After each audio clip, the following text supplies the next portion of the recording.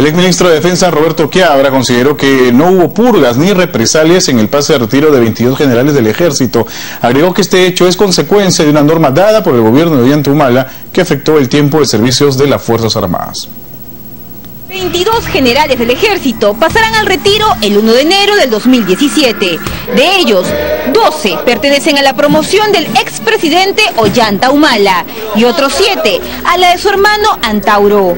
El exministro de Defensa, Alberto Otárola, calificó esta medida como inconstitucional y aseguró que es un abuso contra los oficiales afectados, por lo que pidió al gobierno no concretarla.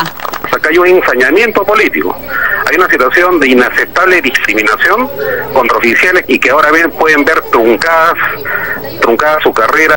El exministro de Defensa, Roberto Quiabra, no cree que se trate de una represalia contra el gobierno anterior. Acá no se puede hablar de purgas.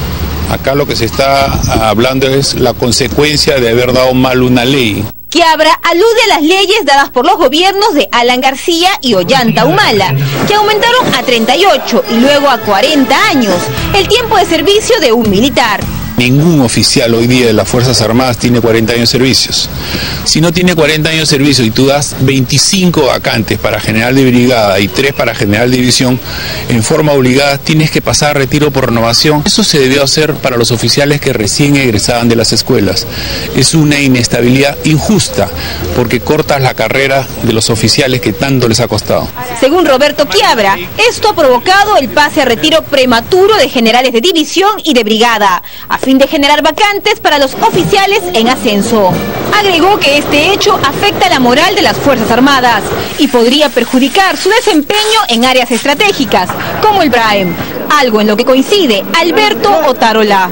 Aquí se va a generar un descontento una cosa es lo que se piensa que existe y otra cosa es lo que realmente existe. Hay oficiales que han trabajado en el BRAE, no solamente los que están pasando ahorita al retiro, sino de los últimos años de qué les ha costado dar dos, tres años de servicio en el BRAE, alejándose de su familia y arriesgándose a todo lo que significa trabajar en esa zona para que los pasen a retiro por renovación.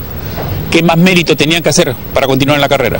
Para el general en retiro, Roberto Quiabra, el actual ministro de Defensa, Mariano González, debe explicar esta situación y los motivos del pase retiro de estos oficiales, a fin de evitar suspicacias políticas. Lourdes Paucar, Canal N.